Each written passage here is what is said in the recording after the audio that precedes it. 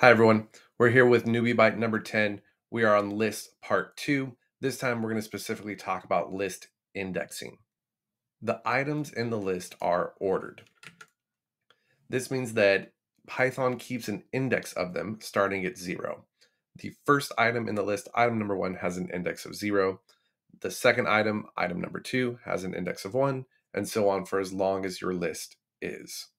Python is what's called zero indexed which just means that it always starts counting from zero instead of counting from one. Let's head back to our list and see what this looks like.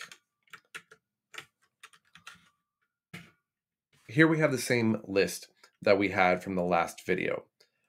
I'm going to copy this list and I'm going to paste it into something called the Python tutor.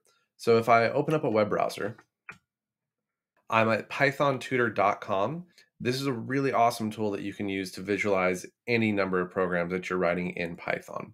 So here's the same list that I have in my terminal. I'm going to click Visualize Execution, and then I'm going to click Next to run the first line of the code here.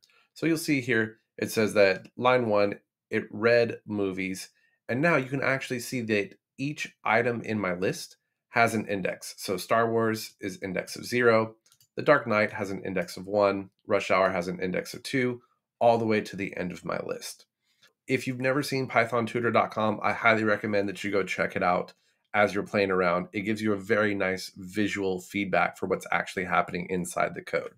To start, I'm just going to print out the entire object movies and see what that looks like. And you can see it prints out the entire object. Heading back to our editor, this time I'm going to print movies. And at the end of the object name, I'm going to add square brackets. And I'm going to pass in the index. Let's run Python one more time. And you can see that it prints out just Star Wars.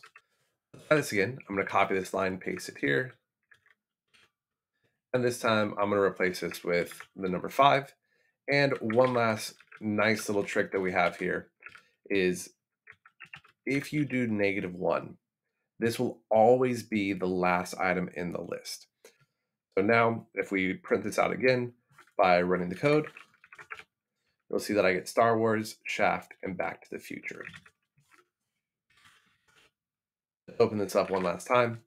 I'm going to add in a, another one. I'm going to say, you know what, actually, I'd really like the original Batman as well.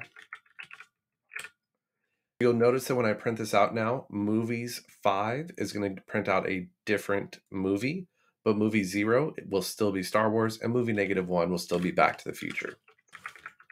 Run it with Python. There it is. We can see that the movie in index 5 shifted. It is now Ocean's 11, but Star Wars and Back to the Future remained at the very beginning and at the end. Good luck on today's bite.